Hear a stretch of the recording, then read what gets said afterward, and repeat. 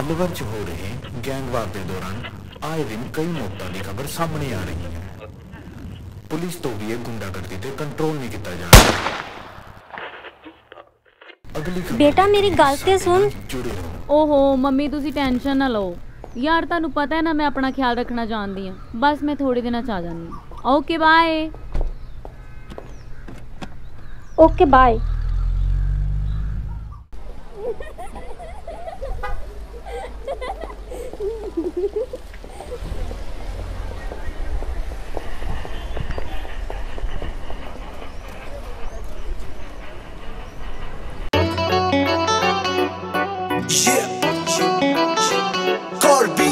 ਨਿਕਲਾਂ ਕਰੋ ਤਾਂ ਪੰਗਾ ਪਿਆ ਸਮਝੋ ਇੱਕ ਅੱਧਾ ਜੇਲ੍ਹ ਵਿੱਚ ਗਿਆ ਸਮਝੋ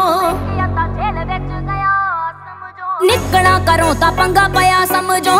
ਇੱਕ ਅੱਧਾ ਜੇਲ ਵਿੱਚ ਗਿਆ, ਸਮਝੋ। ਰੈਡ ਇੱਕ ਗੁੱਤਨਾਰ ਦੀ ਵੱਡੇ ਬੈਲੀਆਂ ਨੂੰ ਪਾਉਂਦੀ ਸੁੱਕਣੇ। ਮੁੱਕ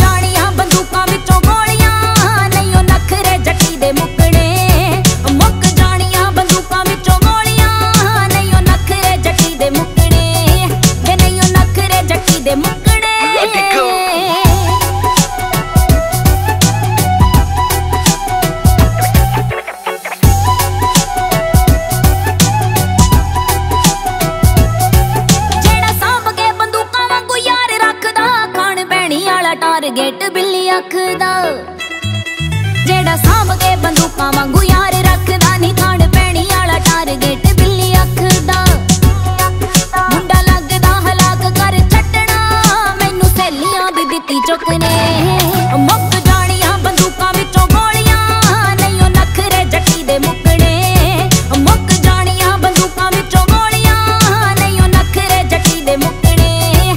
ਵੇ ਨਹੀਂ ਉਹ ਨਖਰੇ ਜੱਟੀ ਦੇ ਮੁੱਕਣੇ। ਪੂਰੇ ਕੱਟਦਾ ਏ ਬੱਟ ਖੁੱਲੇ ਕਰਦਾ ਏ ਖਰਚੇ। ਤੂੰ ਵੀ ਸੰਗਰੂਰ ਦੀਆਂ ਪੱਕੀ ਵਸਨੀਕ ਮੈਂ ਸੁਣਿਆ ਬਿੱਲੋ ਚਰਚੇ।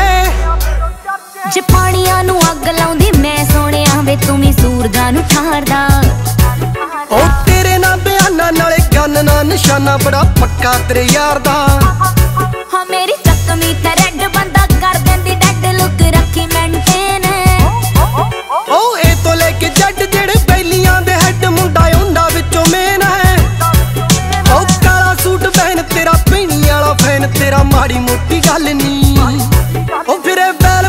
ਪੁਣੇ ਖੱਟਦਾ ਨਹੀਂ ਤੇਰੇ ਵਾਲੇ ਜੱਟ ਦਾ ਰਕਾਨੇ ਕੋਈ ਹੱਲ ਨਹੀਂ ਭਾਖੜਾ ਦੇ